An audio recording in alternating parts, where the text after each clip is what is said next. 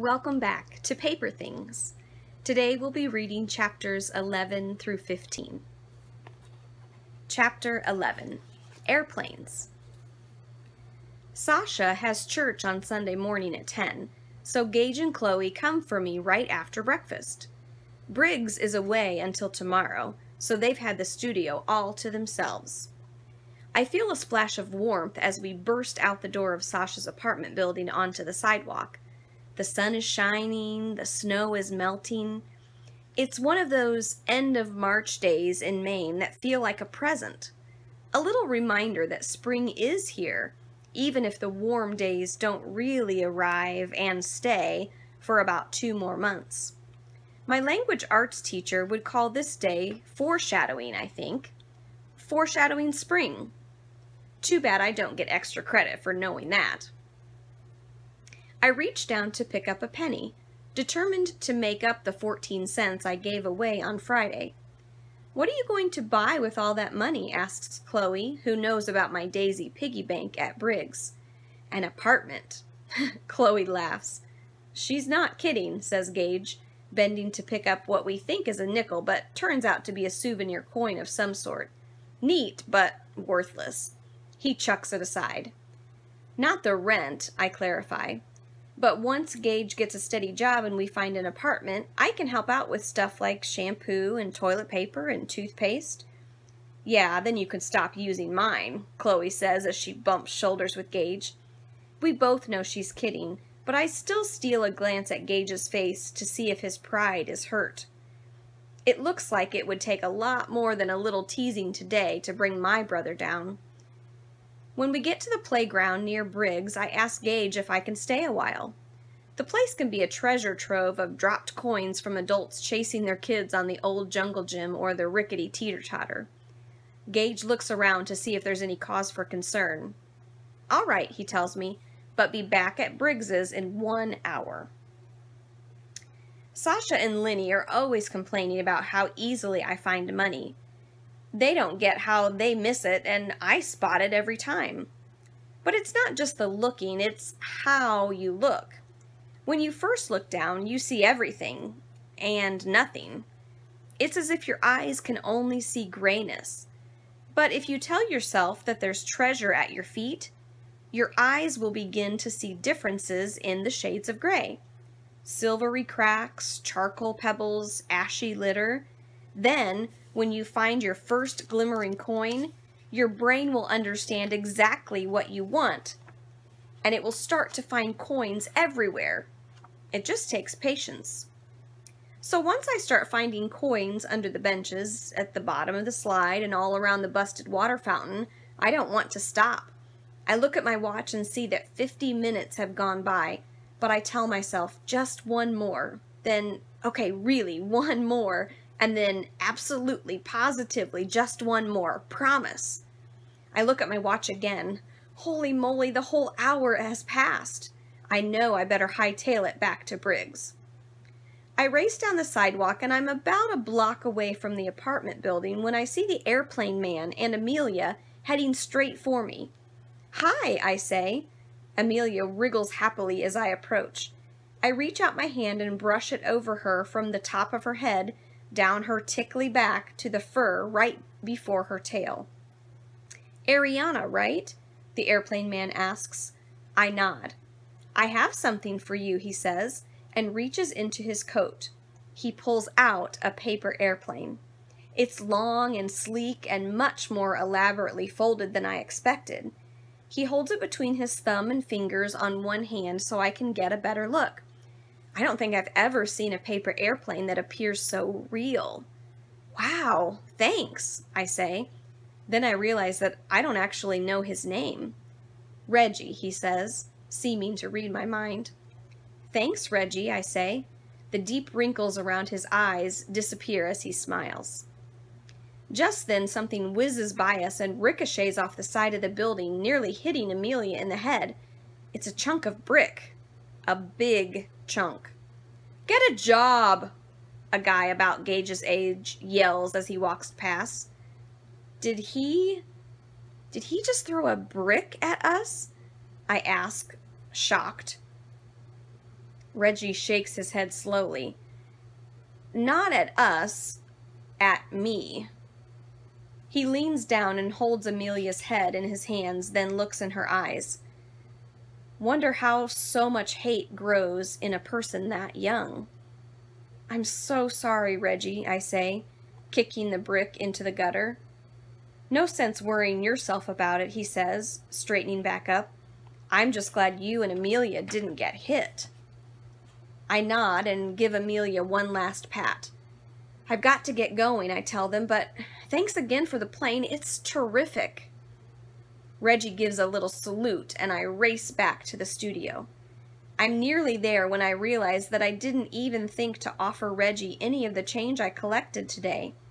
Sure, I'd been searching extra hard to make up for the money I'd given him earlier this week, but the least I could have done would give him some of what I found today. After all, nobody was throwing bricks at my head and telling me to get a job. And maybe it's because I'm so distracted thinking about the brick and Reggie and Amelia and my plane and the money I'd collected, but when I enter Briggs's apartment and see Jana standing there, I'm not startled. Hi, I say my eyes hopping from Jana to Gage and back. There you are, she says, like we had an appointment or something. She has a scarf, scarf wrapped around her neck and she's leaning against the counter with her arms folded. Gage is standing over some boxes on the floor, boxes she must have brought. Chloe is nowhere in sight. So your brother lets you walk around the city on your own, huh? Jana asks in her judgy voice. I frown. I was just at the park around the corner, and then I ran into. It, it's okay, Ari, Gage says. I told Jana where you were and that you wouldn't be gone long. Jana grunts and then looks around.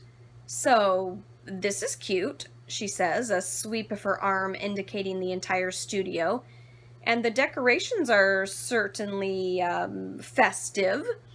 And unless there's another room, I'm guessing you have to sleep here. Her judgy voice is back on big time. And where are all your things? Your boots and books and such, she, she says, frowning at my wet and ratty shoes. And that's when it hits me. Jana thinks this is our place, mine engages. Gage's. I try to catch Gage's eye to see if I'm supposed to play along, but he won't look at me. This is just temporary, Gage says, until we can find something better. Well, that's true, at least. Actually, says Jana, I'm surprised you were able to afford something in this building in the West End. You must have been squirreling away money your entire senior year. We're subletting, says Gage quickly.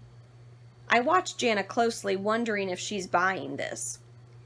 Jana nods and walks around slowly, examining the objects in the room. Most of it is Briggs' crazy party supply stuff, but I notice that my Louisa May Alcott books are on the table, and my piggy bank has been taken down from on top of the cabinets and placed on the kitchen counter. I also notice that the place looks a lot cleaner than it usually does. No dishes in the sink or piled on the counter, no Cheerios or dust bunnies on the floor. Had Gage known that Jana was coming by? The decor is interesting. Jana mutters, but the judgy tone is gone. And where do you hang your uniforms, Ari? I hear Gage's voice in my head. Jana rule number 124 always hang up your school uniform. I try to walk to the drawer under the TV set where I stuff them, that is, when they're not stuffed in my backpack or at Chloe's, but Gage slides over to the closet. In here, he says. He opens the one closet in the studio, the one that holds all of Briggs's work pants and dress shirts, as well as the worn costumes he brings home from one stop. But when Gage opens the closet, only his clothes and my clothes are hanging there, including clean uniforms. When had Gage thought to do that? It works, Jana says, and turns to look at me. She reaches a hand toward my face, but stops herself. Your hair looks very pretty today.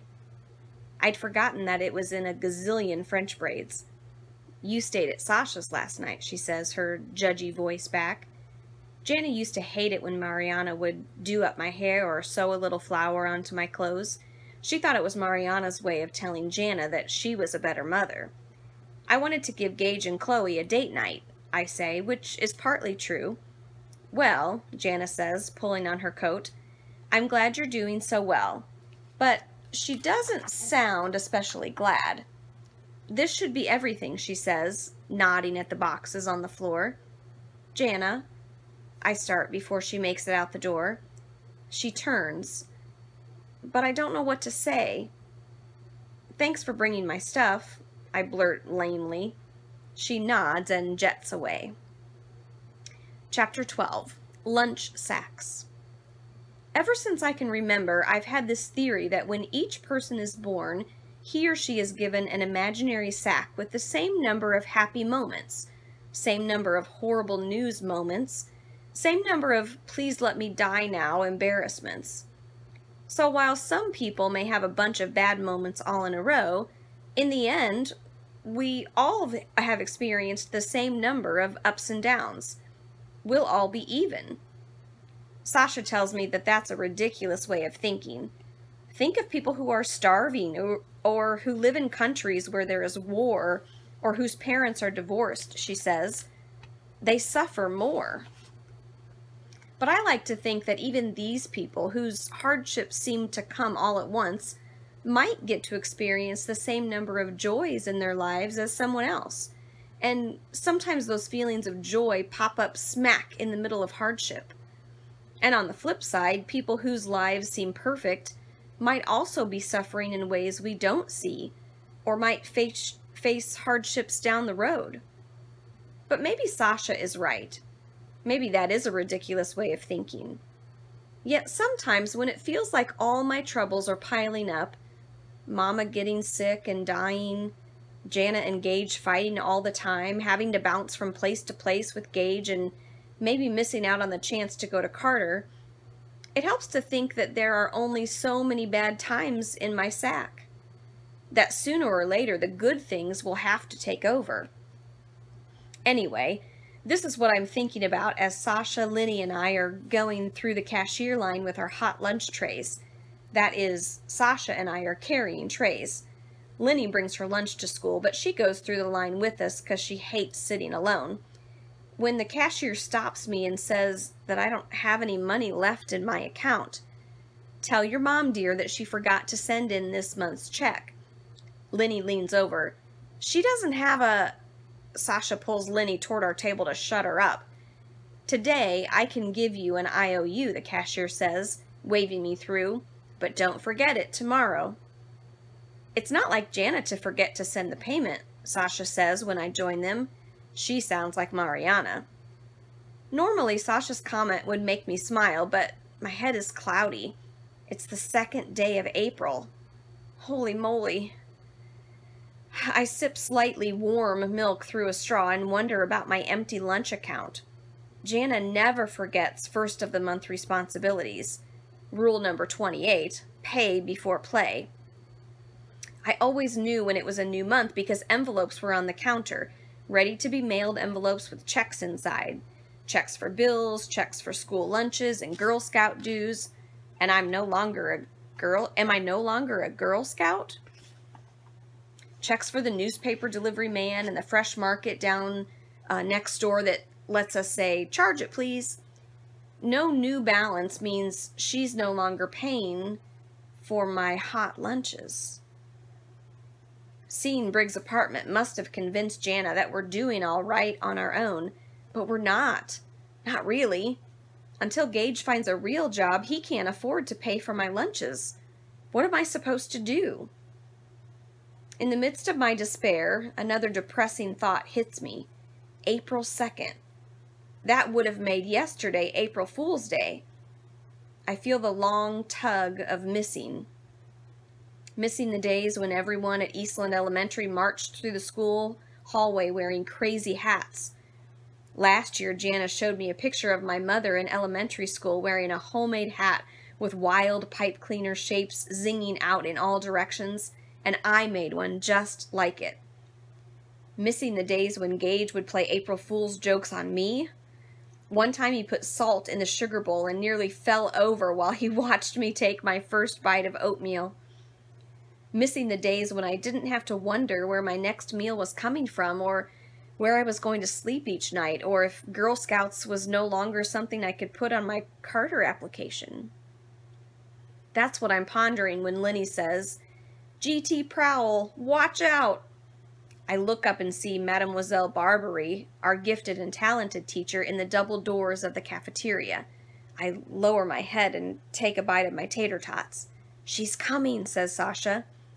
I wish the approaching Mademoiselle were an April Fool's joke. When you're in kindergarten through third grade, being a GT kid is solid. You get to go to a special room and practice uh, and participate in projects like making a time capsule or learning French. But when you're in fourth and fifth grade, it means getting pulled away from your friends at lunchtime to discuss the unique problems of the gifted child. Lately, it's been even worse because I've fallen into the category of underachieving gifted child. Now I feel like she has her eyes on me all the time. What are your aspirations? Lenny says, imitating Mademoiselle. I can't help myself. I look up. That's when Mademoiselle gives me a little come with me wave. Ugh. I say goodbye to my friends, pick up my tray, and follow her.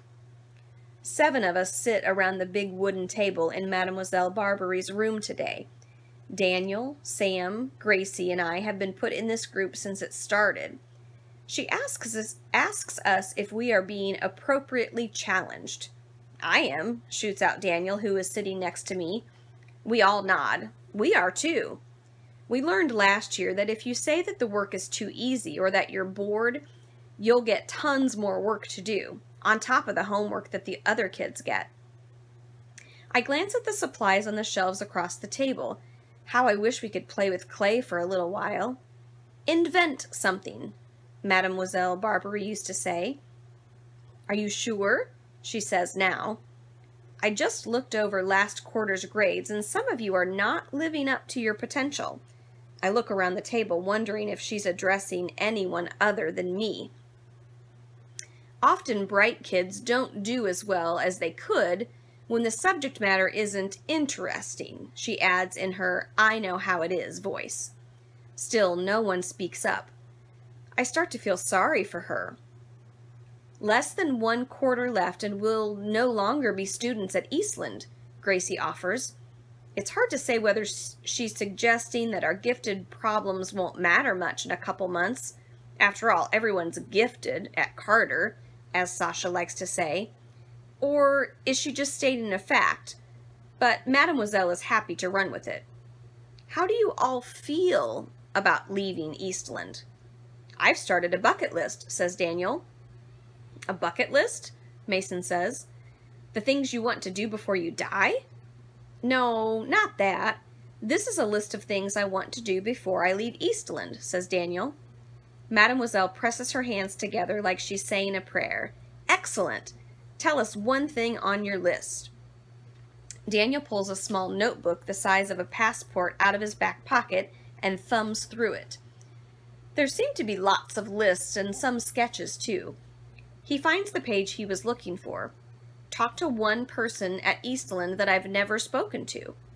Magnifique, Mademoiselle says. She reaches for paper and suggests we each make a list and share them the next time we get together. Usually we come up with all sorts of excuses for not doing the extra tasks Mademoiselle assigns us, but for some reason everyone seems really excited by the list idea, shouting out stuff they'd put on their list.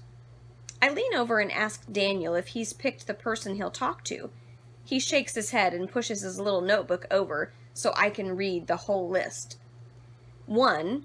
Talk to one person at Eastland that I've never spoken to. 2. Jump from the top of the bleachers into the pile of gym mats. 3. Free Gerald. I laugh after reading number 3. Everyone at Eastland knows about Ms. Finch's turtle, Gerald, even if they don't have Miss Finch. She's had him forever, and he's grown so much that he almost doesn't fit in his tank. Everyone's just a little afraid of Gerald, even though he's not a snapper. Even Miss Finch is afraid of him, which is why his tank is dirty all the time. Number four, cover the halls with paper snowflakes. I realize that I'm not the only one missing the Eastland traditions. I grab Daniel's pencil and write, while wearing a crazy hat, after this item. He smiles. I continue reading. Number five, get everyone to sing kindergarten songs in the cafeteria. Number six, skid from one end of the math hall to the other after Mr. Grogan polishes the floor. Seven? Eight? How come seven and eight are blank? I whisper. Mademoiselle glances at us. He points at the paper to keep me reading. Number nine, be brave. Number 10, persuade Ariana Hazard to do numbers 1 through 9 with me. I look up and give him my you've got to be kidding look. He takes back his pencil and writes, You can fill in 7 and 8. No way, I mouth. Then he writes, You might only go to four more schools in your whole lifetime. That's only four last days, ever. I think about that for a moment.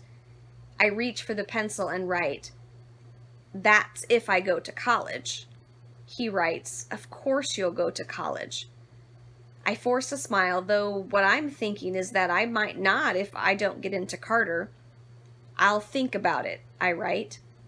Daniel smiles and crosses off numbers 9 and 10.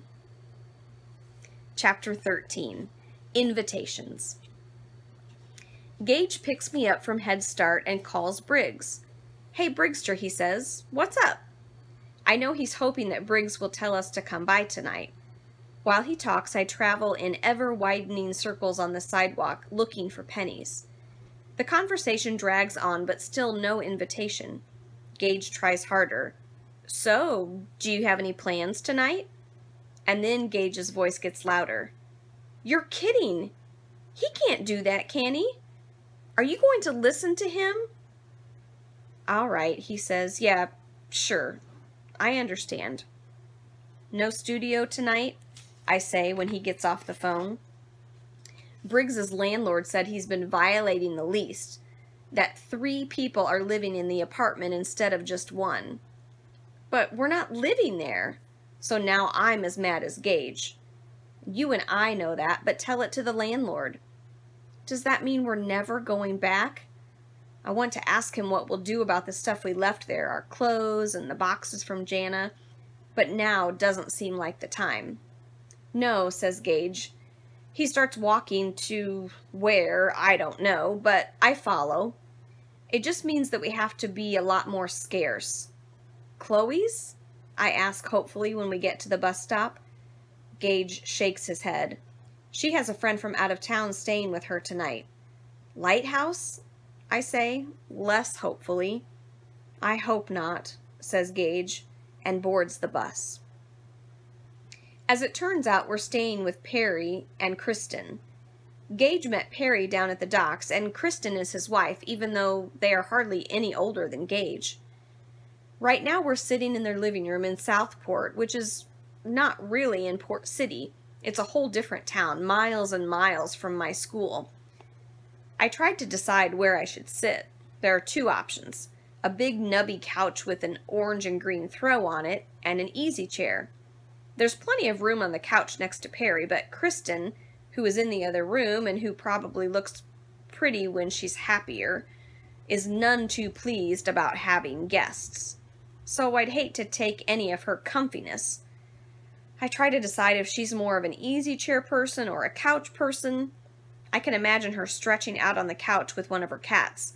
I've counted three so far, the blanket covering her legs, but maybe she'd prefer the solitude of the easy chair, since she doesn't seem to want to be near Perry right now. I wish I could just go into the other room and do my schoolwork, but we're not the kind of overnight guests where the hosts announce, make yourself at home. We're practically strangers here. Gage sizes up the situation and grabs a metal chair from the kitchen table. He brings it into the living room and nods for me to sit on the couch next to Perry. I sit on the far end of the couch, trying to make myself smaller, cuter, cat like. Kristen comes into the room and takes the easy chair. I can't tell if she's mad about that or not. Perry hands the remote to Gage, but Gage passes it off to, to Kristen and says, We're happy to watch whatever you like. Perry snorts. Don't do that, man, he says, which seems to make Kristen even more annoyed. In fact, I kind of wonder if Perry brought us home just to aggravate Kristen. Kristen tosses the remote back in Perry's lap. When we walked in the back door, Kristen had been seated at the kitchen table. She pounced, expecting only Perry, wanting to know why he was late. Her face tightened when he introduced us, a look I recognized from Jana, who tried really hard not to look like an evil stepmother when we broke the 48 hour rule and brought friends home unannounced, and said that we needed to play a place to crash tonight, that we'd thought we could move into our apartment today, but hadn't been ready after all. That's the sort of thing Gage tells people so they don't think we're homeless. Which we're not, of course. We're just between homes. What about dinner? Kristen had asked. Perry had handed her the leftover pizza from Flatbread where we'd gone after meeting up. Flatbread is a tray big treat for us, and I thought Kristen might be pleased, but I guessed she mostly felt left out. Anyway, it was a bad start to what was turning out to be a bad night. Perry turns on a basketball game. I stare at a spot on my blouse where I spilled tomato sauce. Since all of my extra shirts are at Briggs, I'll have to wear this same top tomorrow. I don't dare ask Kristen and Perry if I can use their washing machine. I don't even know if they have one. But think maybe the stain will come out in the sink. May I use your bathroom? I ask. Use the one upstairs, said Kristen. It's cleaner. On the way up the stairs, I grab my backpack. I lock the bathroom door and take my sweater and my blouse off. I turn on the water and wet the stain on my blouse. I look around for soap, but I can't find any. I look in the shower and see a small bottle of shampoo. It's green. I wonder if it will turn my white blouse green. I decide to take the chance. It doesn't, but it doesn't exactly take the tomato sauce out either. It just sort of fades it. I put the blouse back on and button my sweater up over the wet spot. Maybe the stain will fade even more once it's dry. I'm on the landing about to head back downstairs when Kristen comes up the stairs. Do you want to sleep in the cupola? she asks. I look to my left and my right. There's one bedroom on each side of the landing. One with a big bed and men's clothes hanging over a chair is that's clearly theirs. The other one has a twin bed, and I figure that's the guest room. I point to the guest room. Is that the cupola? No, dummy, she says, but not in a mean way. Follow me. Using a metal rod that was resting against the wall, she opens a trap door in the ceiling, and a folding ladder comes down. I climb the ladder nervously. I definitely don't want to sleep in an attic, but I don't feel comfortable telling Kristen this. But when we get to the top, I see that it's not an attic at all. It's a tiny rooftop room with windows on all four sides, like the top of a lighthouse. There's a padded window seat all around that's wide enough to sleep on. The sun has set, but I can see streetlights and house lights below me. This was my grandmother's house, Kristen said. I used to come up and sleep up here all the time. She sits down on the edge of the seat. Sometimes I still do. It's like being on top of the world, I say, looking over rooftops. My grandmother told me that before there were all these streetlights, you could see stars from up here. Then she looks at me. It must be hard not having your own bed. I shrug. I'm okay as long as I'm with Gage, I say, and sit down beside her. She nods. He seems nice, like the kind of guy who's considerate. I want to tell her that as great as Gage is, sometimes we fight.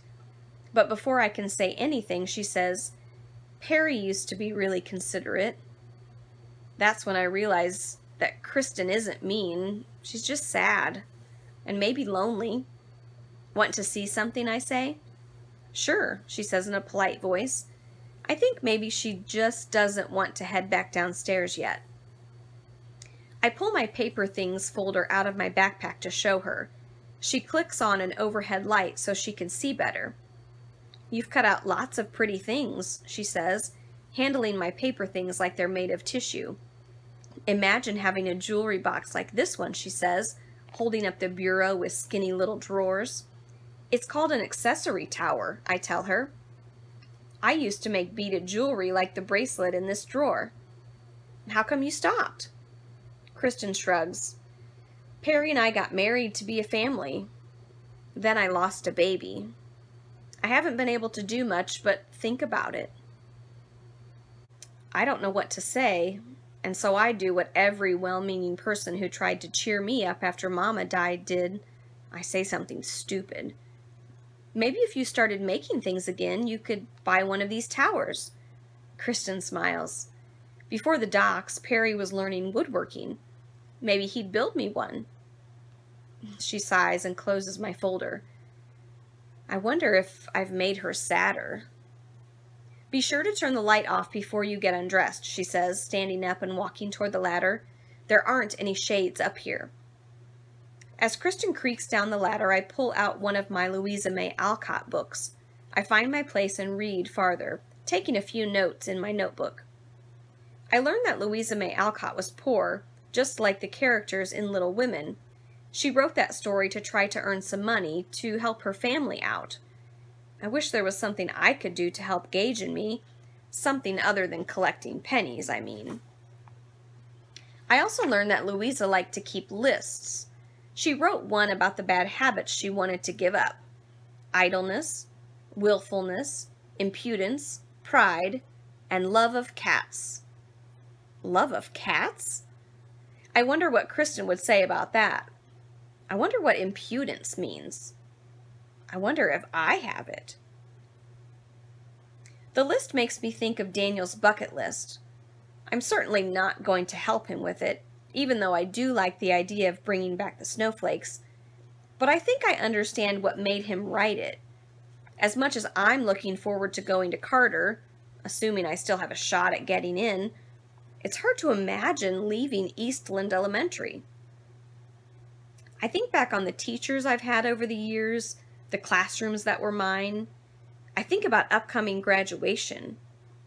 Last year, Mason and I got to be marshals at graduation, chosen because of our grades. That meant that I carried a baton and led the fifth graders into the gym. The principal called each graduating student up to the podium after his or her name was announced, like Sasha's older brother. William Sortskin, son of Alphonse and Mariana Sortskin. Who will they announce for my parents? Mama and Dad, even though they're both dead? Jana, who I'm not even sure is still planning to come to graduation? Or will they just say Ariana Hazard, sister of Gage Hazard? I close my notebook, and as I repack my backpack, I notice the paper airplane Reggie gave me the other day. I pull it out and examine it more closely. It's made of newspaper and it has wings that look as graceful and as pretty as a bird's. Headlines fold in and out of the plane like ribbons with a secret code. I read the broken words to see if they create an interesting message, one for only me. They don't seem to, but I do notice the word jiffy, which gives me pause for some re- reason. What does this word jiffy remind me of? I unfold the jiffy wing one crease at a time, making sure I remember how to put the plane back together. Printed inside the wing is an ad for Jiffy Lube, and now I remember. Jiffy Lube was the name of the garage where Gage might be able to get a job. Slowly, I trace the word Jiffy with my ink smudged finger and then fold the airplane back up. Whether Reggie meant it or not, I can't help feeling that this really is a secret message. I try to open the window. At first, it sticks, but I lean in, using my whole body to lift the frame. It pops open and lets the cool April air stream in. I hold the plane, this intricate gift made just for me, between my fingertips. I have so few things of my own, but I'm thinking of wishes. Wishes made on shooting stars, dandelion puffs, the flame of a birthday candle. all those wishes floating off on the wind. I close my eyes and imagine Gage telling me he got a job. I imagine our own apartment with a room just for me, my own window, my own bed, a place for my paper things. I look at that word on that wingtip one more time, then I pull the plane back to my shoulder and let it fly. Please, I whisper to the wind. Please.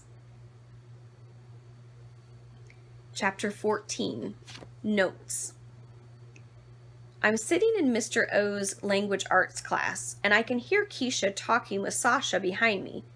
Keisha's one of the popular girls, and I can't remember the last time she talked to me or Sasha. Her voice is just loud enough for me to hear. Is Ari using some new product in her hair, or is that grease? I try hard to hear Sasha's response. Is she sticking up for me? But how can she? What can she say? She has no idea that I no longer have to pass the JANA test every single morning before heading out the door. But this morning, Gage and I overslept, and I hardly had time to brush my hair before catching the bus back into Port City and all the way to Eastland. It seems like I have to wash it every day now to keep it clean, Plus, I had to throw on the same blouse that had the stain on it, so even though Mr. O's room is a furnace, I have my sweater buttoned up tight. I tuck the greasiest strand of hair, the one that falls over my forehead, behind my ear, and I try to focus on my work.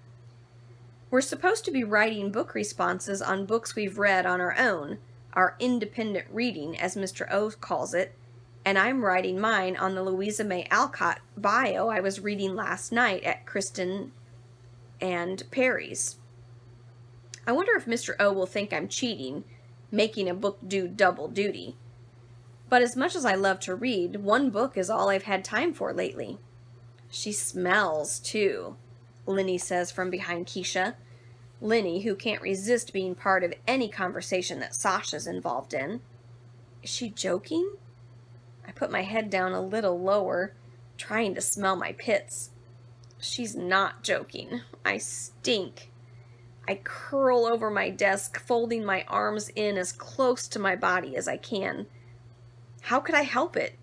Gage phone, Gage's phone died, so we didn't have an alarm. We woke late, dressed, grabbed our things, and raced out the door. The bus stop was practically a whole mile away from where we slept last night.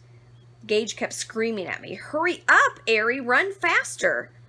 I was running as fast as I could, but my shoe has started to flap where the stitching is coming out, and it falls off easily. We made our first bus, but it was so crowded that Gage and I couldn't sit together. I had to sit next to a woman who kept sighing because she'd had two seats to herself, and now she had to hold her things on her lap, and she didn't have much lap. When we got to Congress Street, where our first bus route ended, Gage realized that we'd used up our bus passes. He'd have to go to an ATM to get more money to buy new ones. I can't wait here, I shouted at Gage. If I'm late again, I'll get detention. What are your choices, Ari? Gage had snapped back. I'm running, I said. We've run up to East End plenty of times from here before. Then go, he yelled at me. Those were the last words we spoke to each other this morning. So it's not much of a surprise that I don't look or smell my best today. But I can't very well explain the situation to Sasha and the others. My eyes start to tear, and I pinch myself on the thigh to give myself something else to focus on. Mr. O stops by Sasha's, Keisha's, and Linny's desks. Are you three reading the same book by any chance? Mr. O asks them. It's his way of telling them to get back to work. I'm glad. Maybe now Sasha knows what it feels like for your teacher to be disappointed in you, even though she still has three weeks left as patrol leader. I ignore Sasha and Lenny as much as I can all morning, which turns out not to be such a good idea. It seems to just make them higher and mightier, when the lunch bell rings, they're huddled together in front of Sasha's locker, whispering and shooting me looks. I can't tell if they're working up enough courage to tease me or if they're planning a hygiene intervention, the way Sasha and I once held an intervention to try to get Lenny to talk more softly, which, by the way, did not work. Either way, I'm smart enough to recognize a gang up. I'm also smart enough to devise a, to devise a plan for avoiding them during lunch period. While we were madly rushing around this morning, Kristen wrapped the leftover pizza in foil and stuffed it in my backpack.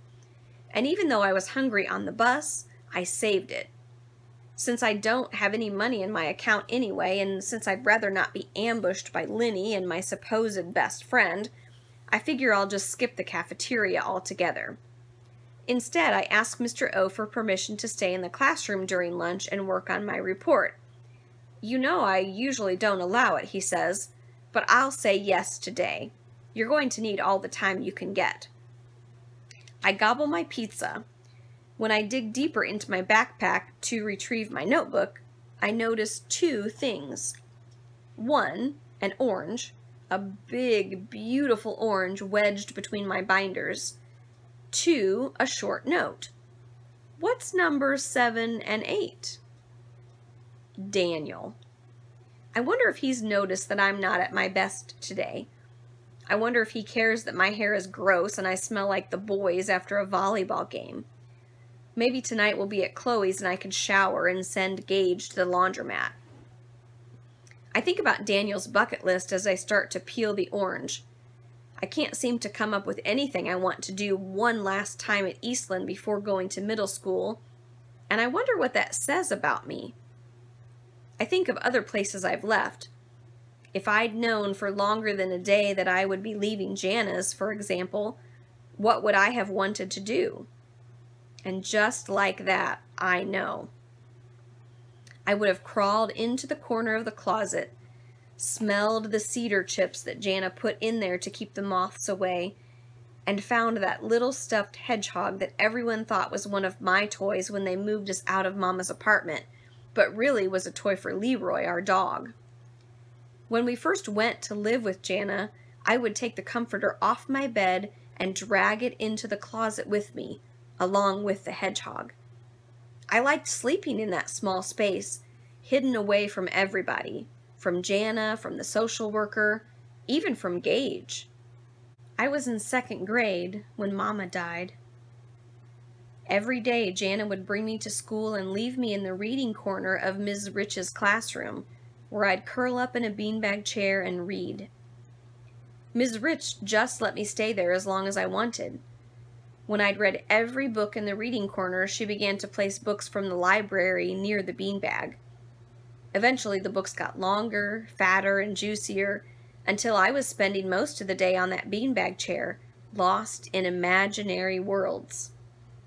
But then one Monday morning, Jana dropped me off, and instead of making my way to the reading corner, I headed for my desk. I don't know what had changed, but somehow I felt ready to rejoin the class. While I was adjusting to being back at school, the guidance counselor came to Mrs. Ms. Rich's room once a week and brought me down to her office. She'd ask me questions about Mama and Gage, about living with Jana. She'd ask how I was feeling and if I'd cried. I don't think I did cry much that year. Maybe that's why I'm so leaky now.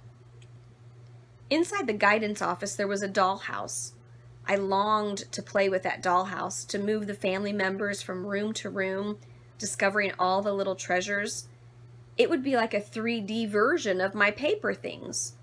But the counselor never said I could play with it, and I was always too afraid to ask.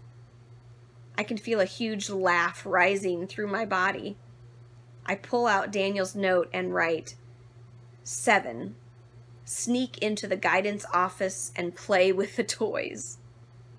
And then I realize how foolish this would be, to say nothing of babyish. It's all fine and good to sneak around the school, doing things you're not supposed to if you're Daniel, and you don't care if you go to Carter or not.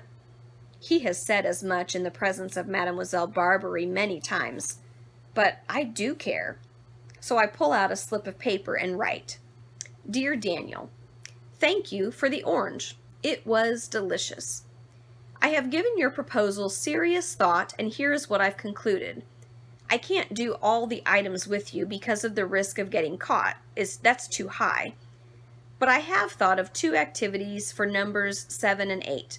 And if you'll do those, I'll do two of the other items with you, okay?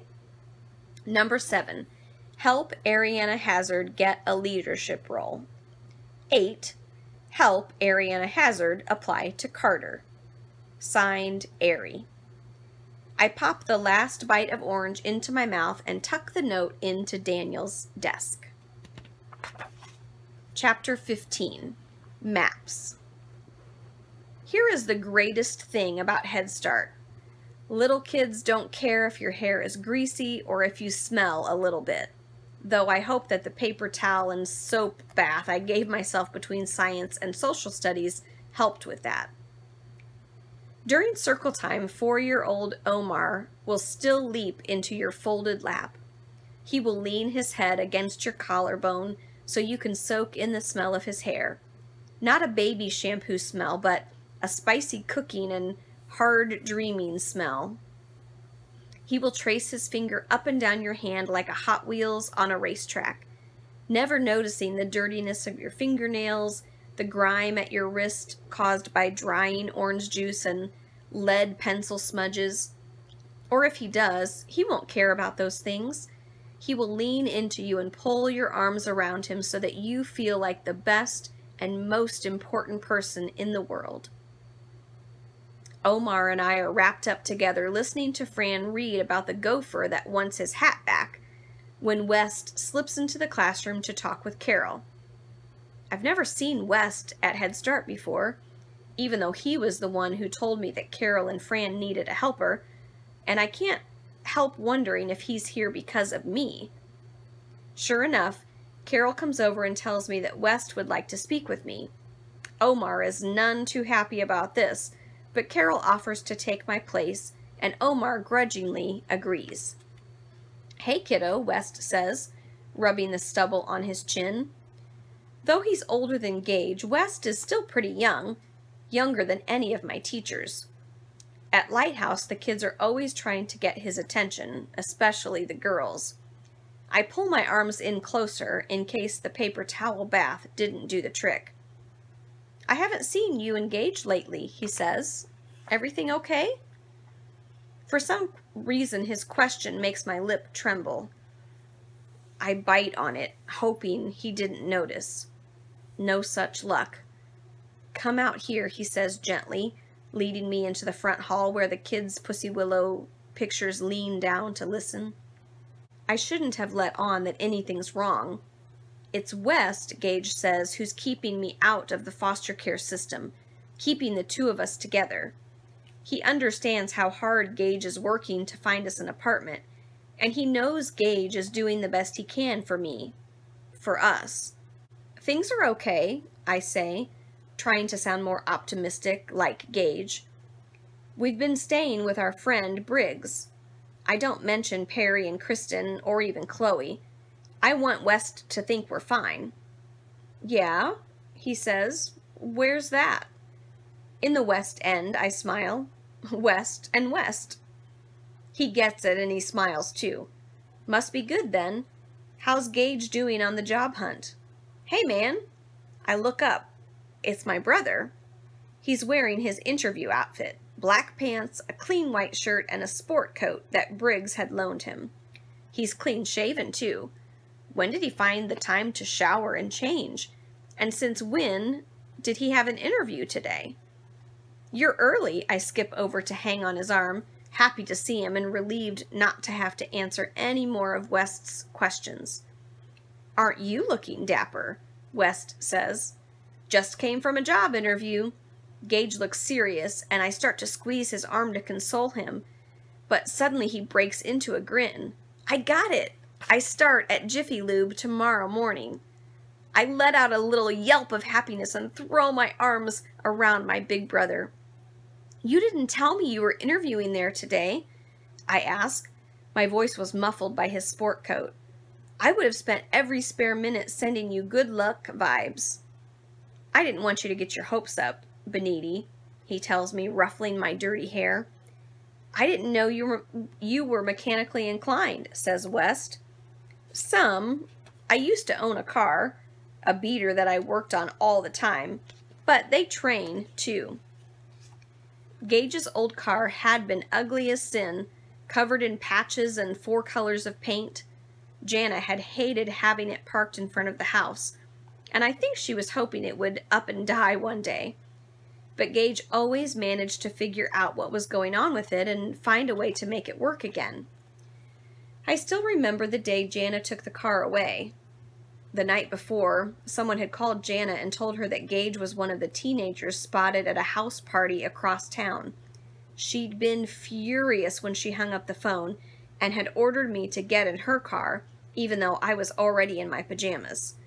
I got in the back seat and we drove around in the dark until we found the house, down a long dirt road, but we didn't go inside. Jana just took the tire iron out of her trunk and removed his back wheel. I'd heard them arguing the next morning. It was what they call a knockdown, drag out fight, their worst ever. Gage had had to walk home. He'd been the designated driver for the evening and had spent half the night scrambling to refine to find replacement rides for his friends who'd been drinking.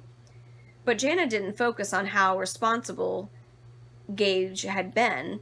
Instead, she screamed at him for attending a party with alcohol in the first place and for letting his friends get drunk.